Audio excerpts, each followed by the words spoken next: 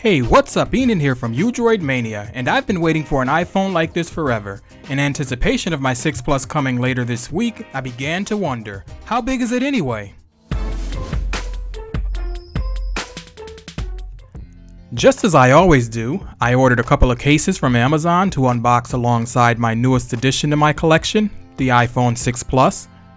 And I know what you're thinking, and you guys know I'm a huge fan of Android, but one of the main reasons for this has always been due to the size of the iPhone screens. They were just so tiny.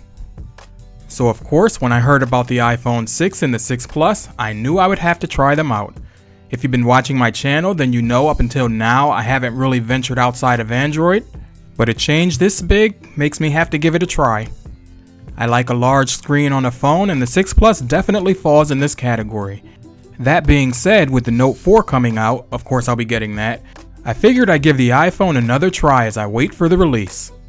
The 6 Plus is 158.1mm tall, 77.8mm wide, and 7.1mm thick, while the Note 3 that I'm showing here is 151.2mm tall, 79.2mm wide, and 8.3mm thick. And lastly, the G3, it's 146.3mm tall, 74.6mm wide, and 8.9mm thick. Now I know what you're thinking, those numbers don't mean much, but as you can see here, the 6 Plus is going to be massive. I mean, take a look. The G3 fits completely inside of the SPIGEN case for the iPhone 6 Plus. Wow. If you're currently on a 5S, then this is going to be a big change. I mean a really big change. But for me, it's one I like.